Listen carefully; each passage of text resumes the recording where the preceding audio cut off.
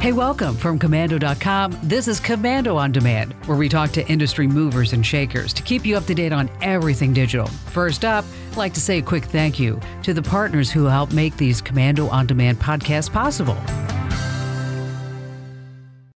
How much did that hurt? Didn't really hurt a lot. A third holding off for now. It kind of freaks me out a little bit. All right, so what are they talking about? It sounds like something from this futuristic sci fi Hollywood flick. But believe it or not, some employees are voluntarily, even enthusiastically, taking their employers up on the offer to implant tiny computer chips about the size of a grain of rice right into their bodies. Yeah, it's true. Why would anyone want to do something so invasive with even potential health risks? Why would any employee want to go along with it? Well, most importantly, if your employer ever asked your permission to install a microchip directly in you, in your body, what would you say? Would you even have a choice if you wanted to keep your job? Well, some see this as the next logical step in efficiency and productivity and security. Others warn it's the next step down the road to that frightening 1984 Big Brother society so many people have warned us about for years. And think about the implications of these chips. Can they be used to track employees? Is this practice, as some people have said, surveillance by convenience?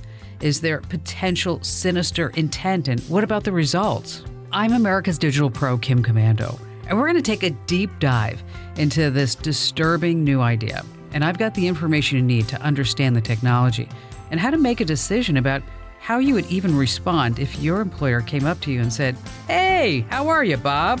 How about we inject you with a little microchip this afternoon? You love your job, don't you?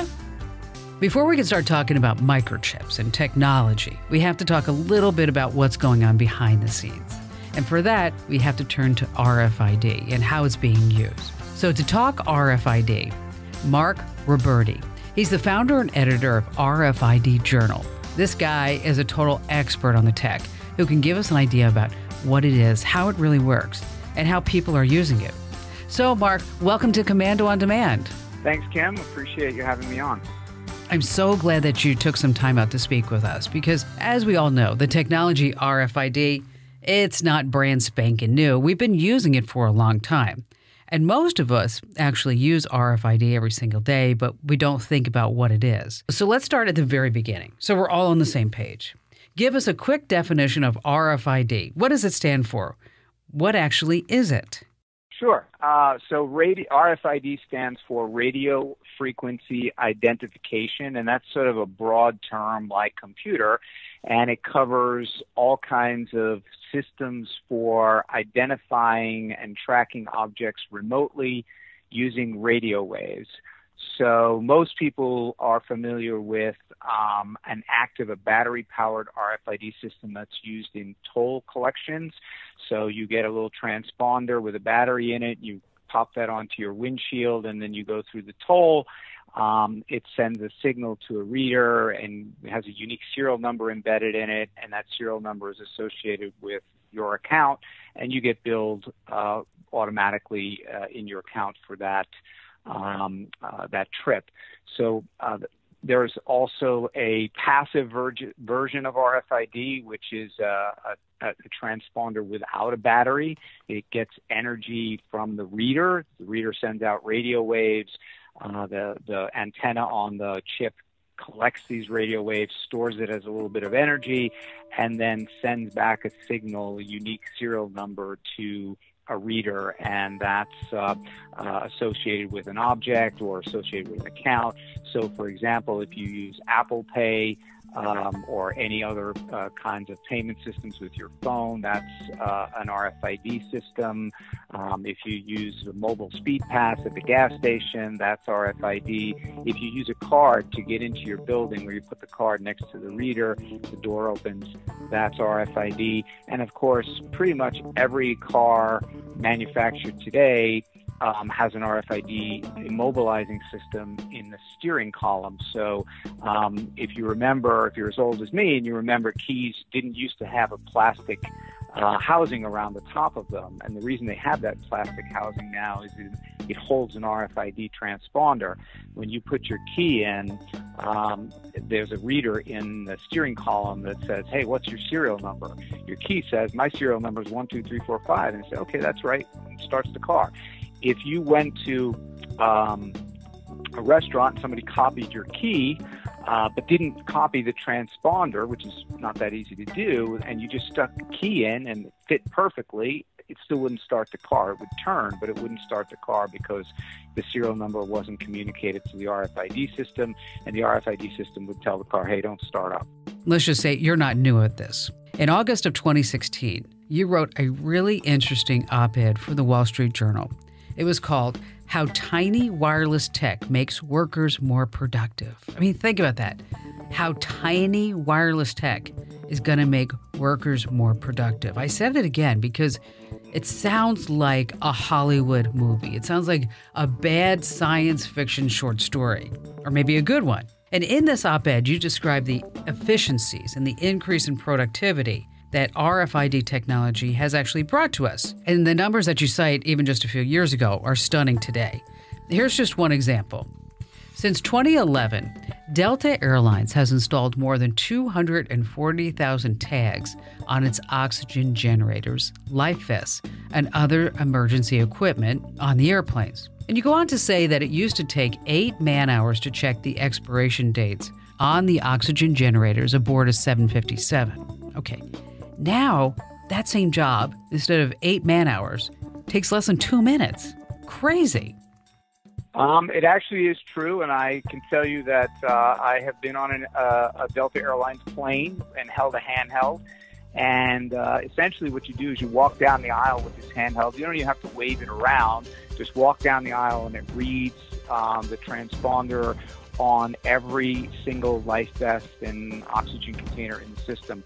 And what they do is they, they basically have it pre-populated. So it, it expects to get these serial numbers because we, we, we know these oxygen containers are on um, uh, the plane, and it and and you read them, and it just kind of ticks them off. Yes, yes, yes, yes, we got them um, happens very quickly. And, and one of the interesting things is that um, the airplane is metal and radio waves bounce off of metal. So what happens is the reason you don't have to wave the reader around is uh, the reader emits these radio waves and they bounce all over the plane and they go to the tags and then they come back to the reader.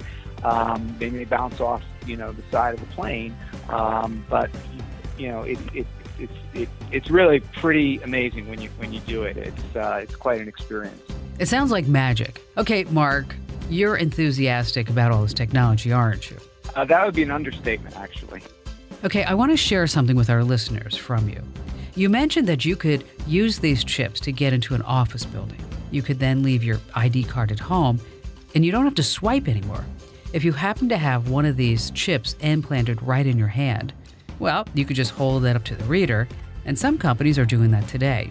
There was another op ed column in the Washington Times, August 2018, in which the author says, When convenience comes downright creepy, she writes, referring to people praising the convenience, being able to log into computers and get into their offices using these chips. Those who take the implant think that the two seconds they save typing their password onto their computer screens are well worth the trade off of losing privacy and compromising their personal data. You know, that's pretty telling. Think about that. Instead of like typing in your password anymore, you just swipe your hand. And people love that. How do you respond to that? Um, well, personally, uh, I think implanting RFID chips in people is creepy as well. Um, it's not something I advocate. It's not something I think has much practical value.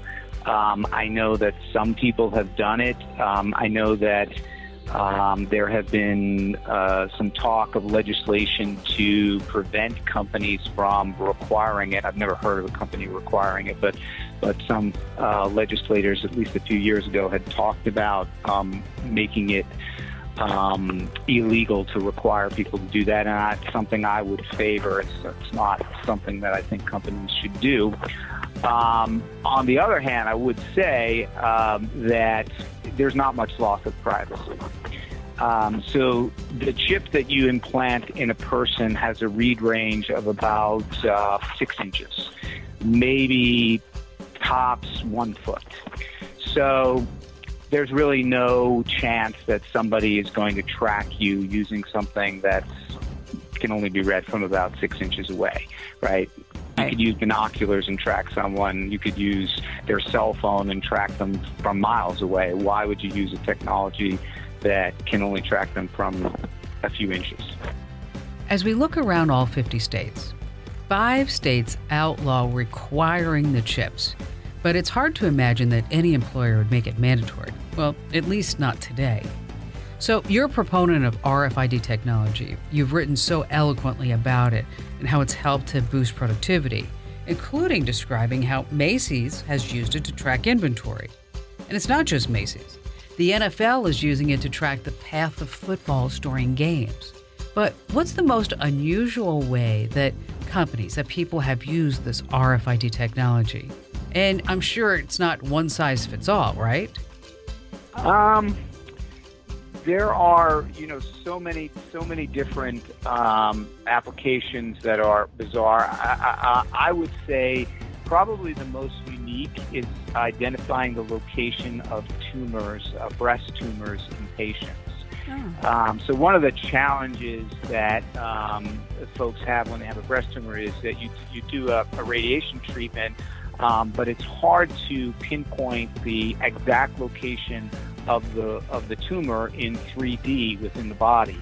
And so, what someone has figured out is that by injecting the tumor with a very, very tiny microchip, about the size of um, a, a, grain of rice, um, you can then very, very precisely identify the location of the tumor in three dimensions and very accurately target the radiation so that you hit the tumor and not the surrounding tissue.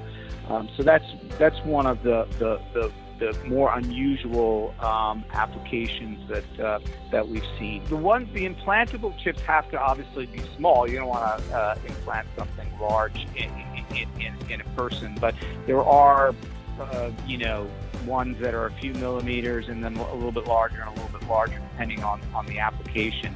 So, for example, uh, another application that's a little unusual is, is tracking salmon going upstream uh, for conservation purposes, right? You want to understand how many salmon uh, ran this year through this uh, through this river compared to last year, so that if there's a decline, we can we can address you know what's the issue, why why are they why is the salmon population declining? Those have to be a little bit bigger because um, it, the salmon are moving quickly. They're in water. Um, they may not be as close to the antenna as six inches. So so by having a little bit larger uh, capsule that, that can be implanted in the fish, uh, you can read it from a little bit further away. So there are slight differences in the size, but anything that's implantable is going to be very, very tiny and have a very, very short read range. Thanks, Mark from RFID Journal. He's the founder and editor and just an all around expert on RFID technology.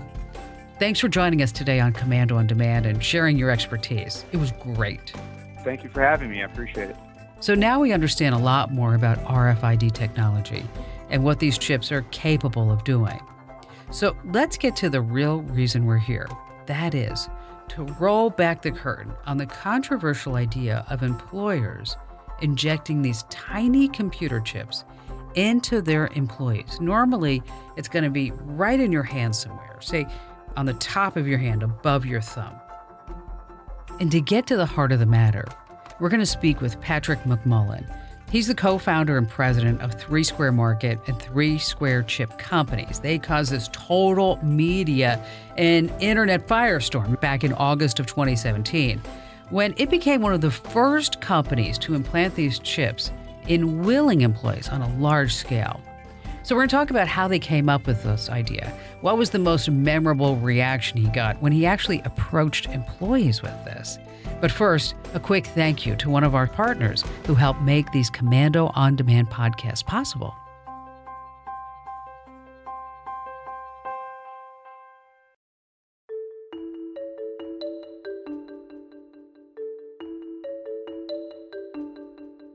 Okay, welcome back. We're going to now talk with Patrick McMullan. As I mentioned before, he's pretty big in the implantable chip news media business. He's the co founder and president of Three Square Market and then Three Square Chip Companies. All right, Patrick, first of all, thanks for taking the time to speak with us today on Komando on Demand. Thanks for having me today, Kim. It's a pleasure. We have to tell everybody what your company does. You provide self service kiosks to office break rooms in the United States and overseas. But you've evolved into a tech company. And you made headlines back in July of 2017 when you announced that you would cover the cost of implanting RFID chips in your employees. Okay, I assume that you didn't come up with this idea when you were drinking beer with your buddies and bowling. So, where did it come from? Was we saw that it was technology that was just significantly underdeveloped and underutilized. And when we when we looked and said, "Boy, what you could do by taking this technology, bringing it up to modern standards, and the solutions that you could create with it in a wide range of, of fields, we said, why not us? And so we took it on and we went headfirst into this. I remember reading about this. Didn't a member of your team actually go to Sweden and then partner with a company? And the company's name was Biohax. That's B I O H A X, by the way. Yes, we initially that it was more of a a discussion and a get to know each other when we looked at it because when we have self checkout stores in Sweden Biohax is in one of the buildings that we're in. They said, "Hey, Patrick, can could we pay with RFID?" I said, "Yes." Oh, by the way, uh, that RFID chip is embedded in our hands. And I said, "Whoa, wait, whoa!" Just like many people, when they heard the story, they said, "Hey, that that's kind of out there." And it was the eye opener that when we started to not only look at paying with your hand, but what else could you do that we really took off. But all of the developments and all the ideas and everything has been completely by us. That there is, while I, I certainly admire what he's doing and, and his mission, ours is completely different, completely separate. All right, I have to ask you, Patrick, and be honest. Do you personally have one of these chips? Yes, Kim, I got chipped live on the Today Show in front of millions of people. So either I, I was going to be famous for getting it done or famous for passing out. Thankfully, I, I didn't. Okay, so you haven't had a craving for lutefisk or anything after getting the Swedish inspired chip implanted? I will have to tell you, the little candy Swedish fish are my favorite. Given, given I'm originally from Minnesota uh, and, the Norwegian Scandinavian heritage that's dominant up there, it, it could have been, but no, I don't think so. Not a, I'm much more into uh, the, the. They have some great cuisine over there, and their their idea of hospitality is amazing. Okay, so you get this idea from Sweden and then you want to repurpose it and you want to make it your own. So you think to yourself, hey, I've got this amazing idea we should try. All right, I have to tell you, as a small business owner, I can just imagine where I'm having one of these company get togethers, a luncheon, and we're sitting there in the mezzanine and we're talking to Chef John about what he's going to be serving the chicken tacos. And I say, hey, you know what? Before you eat, I have an idea to run by you all. What do you think? So how'd you say it to them? Well, it, it, I have to tell you, is the inspiration for this actually came from them. We sat and looked at what they were doing and said, boy, this is technology that could do a lot of different things, and especially if you got functions that, let's say, that we took on. You can unlock a door with an RFID chip. You can unlock a computer but you can't make currently today it's not done in sequence so we bridged the gap and said well, let's not let you log into your computer unless you logged into the door so we we looked at that and said boy that's something well then we took it and said well you could also do a lot of other things medical uh, medical technology that you could do identity payments and the critical piece that I'll give credit where credit is due that they were doing over in Sweden was okay, it's me. That chip is mine. It's in, it's implanted. And we said, well, listen, if we want to understand the limits or the non-limits that this could go to, we need to be willing to do it ourselves. And one of our, that's what some of our developers who, at the end of the day, they're our innovators, said, gosh, we should do this. If we're gonna if we're gonna develop it, then we need to be willing to do it ourselves. And we all looked at each other and said, okay. and to say the least, uh, it, it the rest is history. So it really actually was give credit to the people that started the idea. It was our software developers that said it. Let's do this, and and then we all jumped in, and it it caught fire. So you had to have some cheerleaders for your idea. Who jumped in? Was it the software developers? Yes. Uh, if, and if you see any of the press coverage, some of the people that are most enthusiastic, not only in getting their chip, but talking since to, to various media forums is is our software development team and some of our employees. I mean, they are they're constantly asking me, "What's next? Let's go. When are you going to get that done?" I could just imagine what some of our team members would say to me. I mean, um, did you get any pushback, any shocked reactions from the employees? Did anybody just look at you and say, "Okay, come on, you've got to be kidding, right?" Yes, I'd, I'd be and I'd be a, lying, uh, ignorant fool if I didn't think that that was that there's some people even still today that that it worked for us, obviously, uh, but certainly in the general public that thinks we're crazy. The reality is is that I stress up. I mean, I have someone that, that, that works directly for me. She's my executive project manager. She is a critical function in, in leading our businesses to help me and make sure that we execute on, on our goals up until literally two weeks ago, I did not know. And as I talked to her three, four times a day, I did not know if she was chipped or not. And so we need the people that say, I think it's crazy because you know, we have a booming business outside of this. I need those employees just as much now as I did then. And I, I stress to people, listen, uh, have your opinions. That's that's who am I to tell you how to think? If you don't agree with it, you think I'm nuts, that's okay. Let's continue to, to accomplish our goals. And as far as people in the general public, all I ever ask people is don't judge without information. All right, think back. What was the most interesting reaction that you got when you first brought up the idea? Not one of the software developers, not them, but someone else who was not on that team. Well, it's not so much as the first as the most memorable for me was literally 20 minutes before I was chipped live on the air, as I said. And, and I have to admit, I was a little nervous. I had an employee come up to me and say, Patrick, should I, should I get chipped today or not? And I said, no. And they looked at me is with this dumbfounded look, and the reaction came like you just gave, like, are you serious? And I said, yes. I, the answer is no. And they said, well, you're about ready to get shipped in 20 minutes. And I said, if you're asking me, tells me you're not sure, and until you're sure, the answer is no. And the reality is, is that's what I want to. You know, people were looking for affirmation from others, and my, you have to be bought in yourself. It's I, I don't want you to be sold by somebody else to do it, and that person then became a big advocate that day and since make sure you arrive at the decision on your own based upon how you were raised, what your beliefs are, so forth. Don't allow others to influence you, and don't even allow you know the direction and, and the vision of the company to, to to misguide you. You have to be at peace with it because no, it's it's it's not some yeah. Can I pop this thing out? I can, but boy, it's going to hurt, and I don't want to uh, it's just not it's just not that simple and so it, it's a decision you need to be comfortable and certain about and that's so that's my most memorable one and i think today that's the theme of our organization is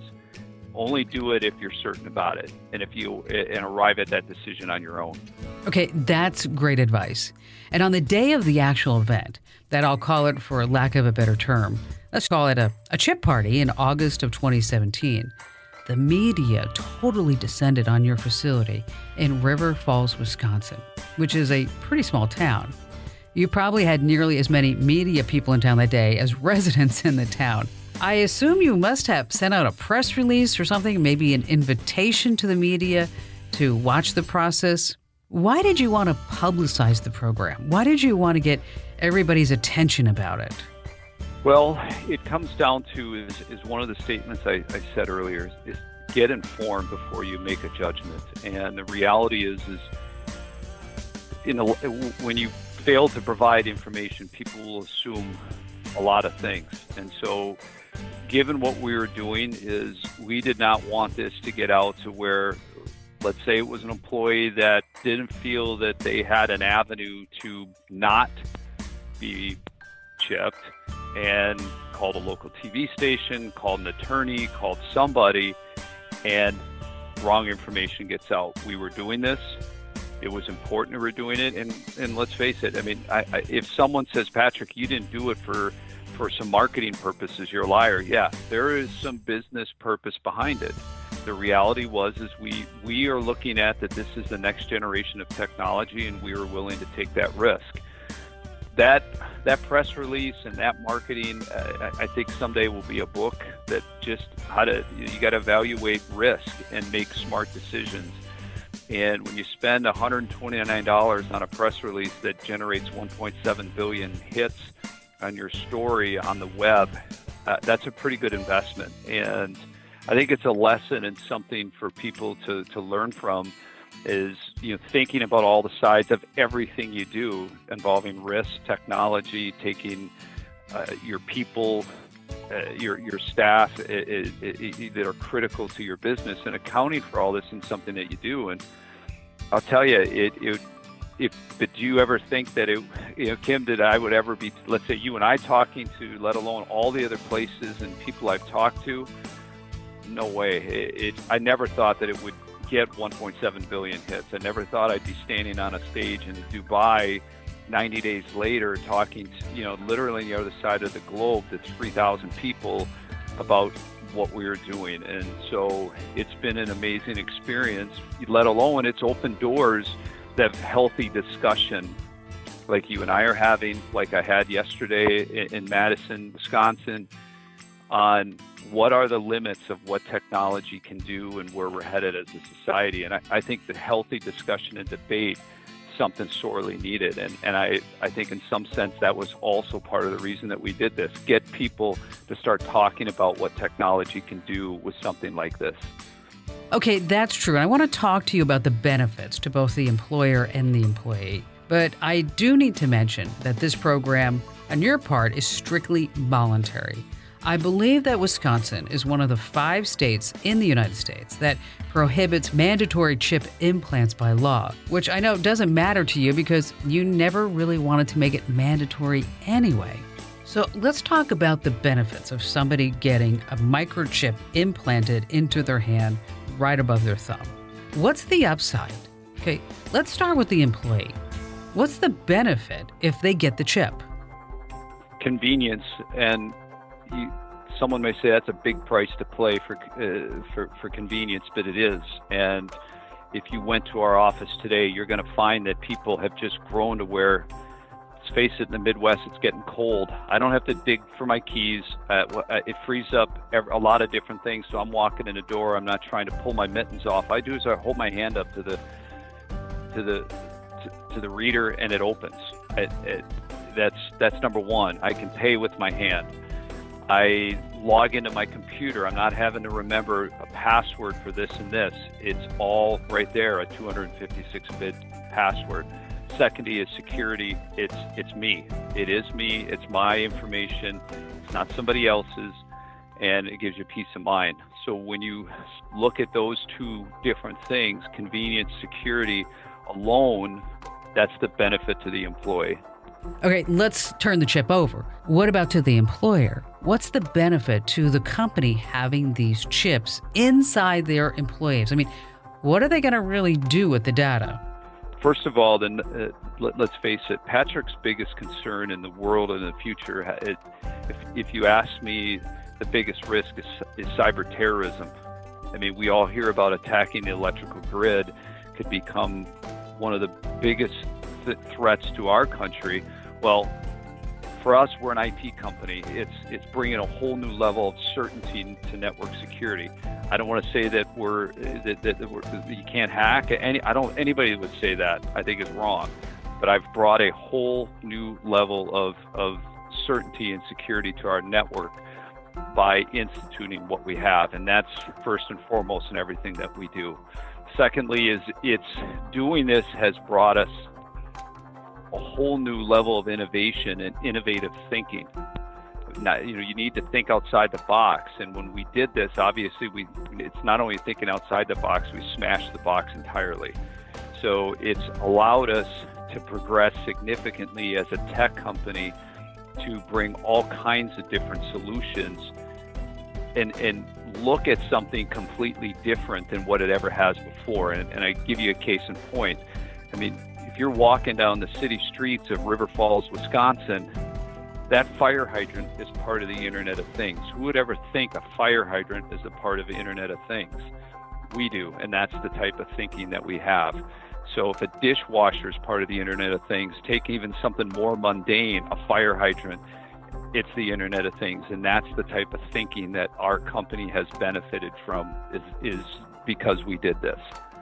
Now, I don't know about you, but I have to tell you, I take my health really seriously. I haven't eaten any red meat for, gosh, I don't know, maybe like 30 years. Anything in my refrigerator is organic. It's crazy, I know, and I'm kind of OCD about it. I would be concerned about health risks involved with these implants. I know that the FDA approved them back in 2004, but are you concerned about the health risks?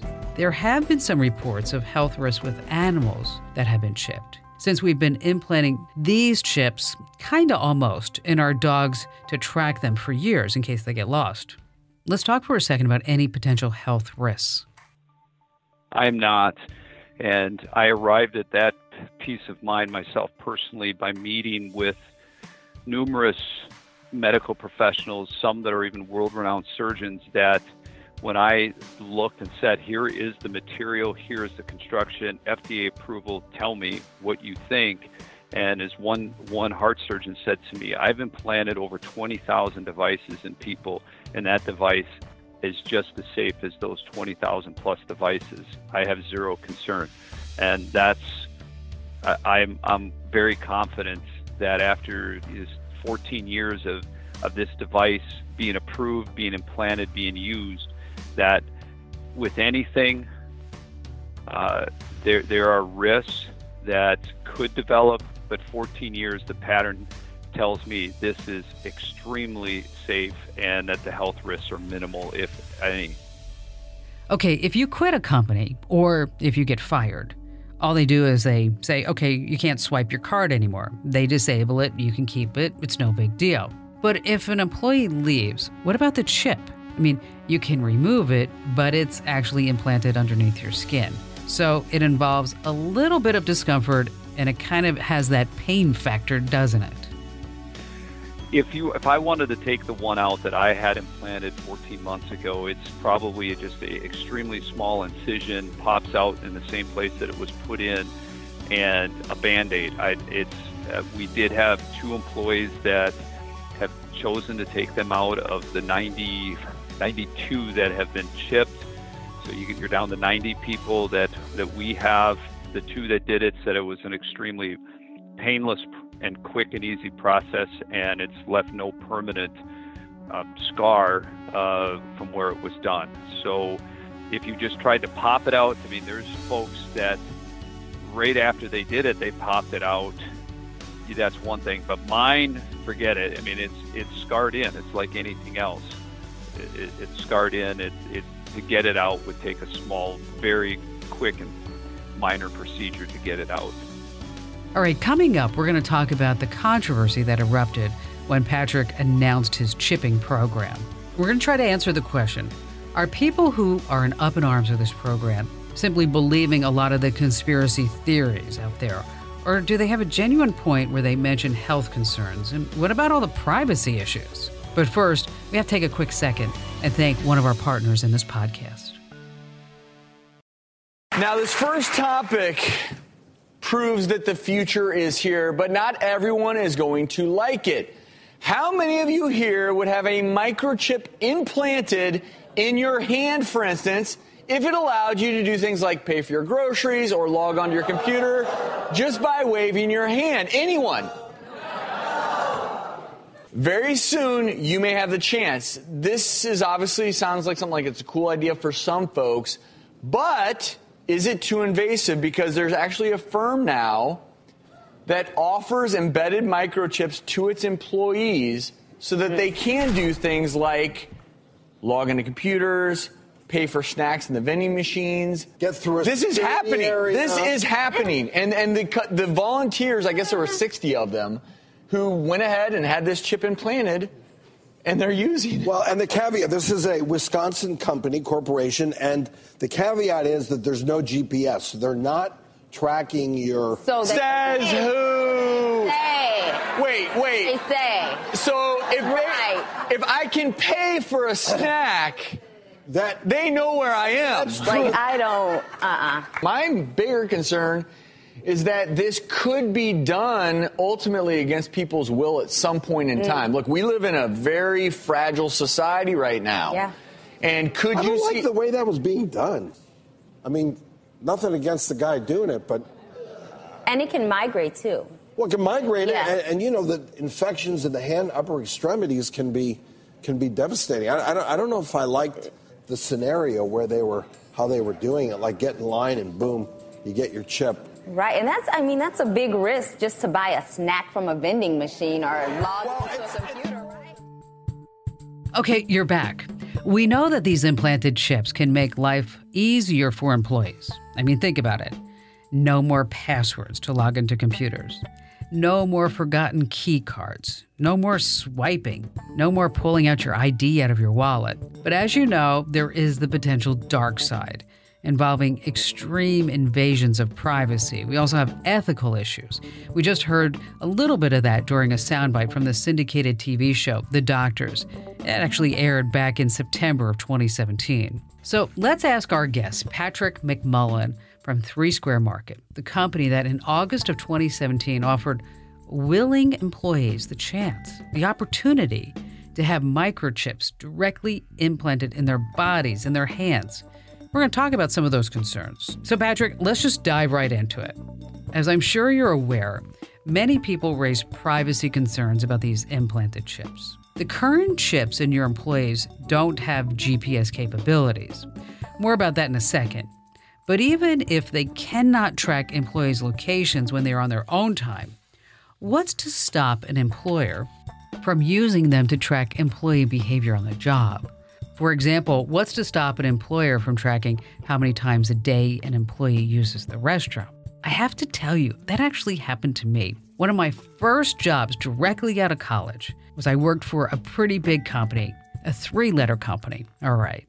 It wasn't AT&T, I worked for IBM. And I was on the job for about a week when my manager called me in and asked, "Kim, do you have any health issues we need to know about?" This was a long time ago when employers could actually ask that question. And I looked at her with my big blue eyes, fresh out of college, and said, Why? What's up? And she said, Well, you seem to be going to the restroom quite a bit. And I said, I'm sorry, I don't understand. She said, Well, in an eight hour day, you're going to the restroom sometimes two or three times a day. And that is considered excessive. I explained to my then manager that I drink a lot of water and I exercise a lot. And then it suddenly hit me. I had to swipe to get into the women's restroom. And that, ladies and gentlemen, was in the 1980s. So now you have a chip inside your body. What if your employer could take the data from the vending machine and use it to maybe change your insurance premium? Hey, you know, that Red Bull and Doritos, not good for you. You buy a lot of high fat, sugary snacks, don't you? Hmm, we're gonna have to raise your health insurance premium. Just wanted to let you know. There are always apples and bananas. Great question, and it's a it's a very good observation. And the reality is is that that information today is already. I could do that today if I wanted to with with people's buying patterns, and part of what got us to look and say, let's do this is 34 billion avenues exist just today alone, just today, for your information to travel up and down every single second of every single day. And the reality is, is that's done because you have a mobile phone. It, the, the, the days of privacy sailed as soon as smartphones hit the world. Cell phones in general hit the world. Your privacy left, left. That ship is long gone. The train's left the station. So, at using a chip, actually, what I can do is in our, our vision and its true reality is to pull your information off that superhighway. I want to control what information I release, what I don't. The chips of today, there is no GPS. You can't track me. It's not powered. It's not feasible. So there's no way to know how many times I, am in the bathroom. There's no many times know I, where I'm even in the building. The, the, the payment system that we use in making payments, it's reading it, it, uses that process tokenization, and at the end of the day, it's not differentiating between is that a chip or is that an RFID off their, their plastic card that's in their wallet. It doesn't differentiate the two. So, could it in the future? Yeah, it and but I, I have to stress to people get informed. That 34 billion avenue superhighway, literally today, you open something on your mobile phone, and within two seconds, you open in Facebook, where you were on your phone shows up literally one scroll down. The world knows where you are. They know who you are. They know what you're buying. They know what you're doing.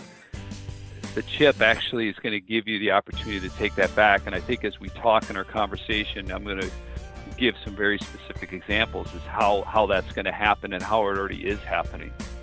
All right, so you at Three Square, you're working on a new chip, one with GPS capability. Will that new chip development affect any of the employees who are currently chipped? And do you have any plans, and be honest, to use it to track employees in the future? There's there's no interest in, in tracking GPS wise our employees. Never has been, never will. What this GPS enabled chip that we are, are developing and will have you know, in beta testing next summer is really aimed at the medical community and Alzheimer's dementia patients. When we received all that firestorm you described in August of last year, ones that appeal to, to myself personally are, are things that really it, it, it hit the medical world. I, I personally am on a mission to, to change a lot of things in healthcare just based upon things that, that my family has gone through. So if I can do things that can make someone's life better through responsible innovation, I'm going to do that. So, Alzheimer's and dementia patients, it and I, I challenge also any of the listeners to think about this, Kim, is not just think about our society, but think of other cultures. In the U.S., senior centers are very prominent, but you go to Central South America, the Caribbean, they don't exist. They they don't believe in senior centers at all. They have multi generational families, and as was told to me, and it's it's hard for me to, to even say this. It's still today it, it, I struggle to say, but I've had doctors call me from Central South America and across the globe say that emergency rooms are like dog pounds. People with Alzheimer's and dementia are brought in they don't know who they are. They have no way to be identified, and they sit, and they sit, and they're they're cared for until someone finds them. And what is not an issue here in the U.S. because of the, the, that we do have. My, my my parents live in senior housing they don't have in other cultures. And so when you think about what we're doing and what we're talking about, it's not just limited to the 50 states that we live in, it's talking about a global solution. And so that's where when I talk about why GPS and where we want to go with that is to bring solutions that can impact the world. And so hashtag change the world is something I've had for, for the last 14 months. Okay, that's a great hashtag. Patrick McMullan of Three Square Market and Three Square Chip Companies. It's been so amazing to speak with you. I guess that we can say that you have a, get this, a hand in changing the future. All right, sorry about that. Thanks so much for joining us here on Komando on Demand, Patrick. You're awesome. Thanks for having me to Kim today. It was a pleasure.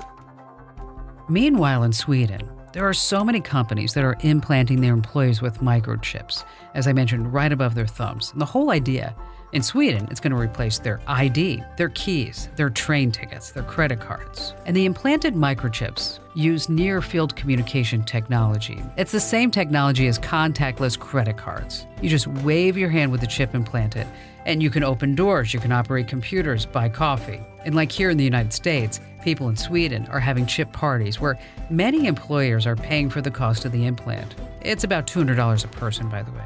And there have been hiccups. Remember, this is technology. Sometimes a train passenger's LinkedIn profile shows up when they swipe their hand and not a ticket confirmation. Whoopsies. And if you ever quit a job, the chip stays in your body, so you're going to have to pay to have it removed. What about privacy? Uh, there is none. What about ethical issues, moral issues?